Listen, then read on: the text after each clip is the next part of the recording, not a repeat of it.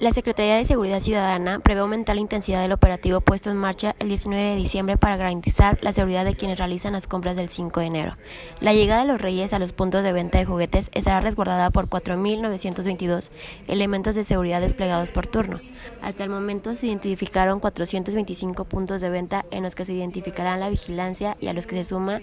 la 323 vehículos puestos a disposición de las autoridades sobrevuelos por parte de Cóndores, el Escuadrón de Rescate de Urgencias Médicas. Entre el día de hoy y el día de mañana, eh, incluyendo por supuesto toda la velada de ambos días, vamos a, tener 4.922 elementos por turno eh, de policía de proximidad con 303 vehículos, incluyendo por supuesto todo el estado de, de fuerza del de,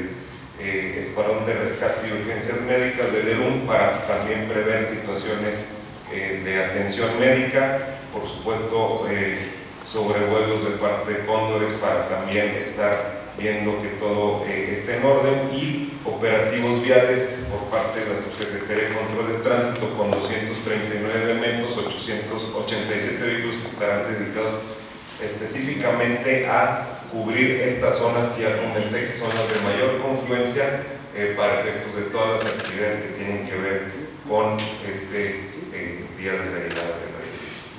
Con información de Mariana González Quintero e imágenes de Ricardo Aldaiturriaga, Agencia Cuadratín México.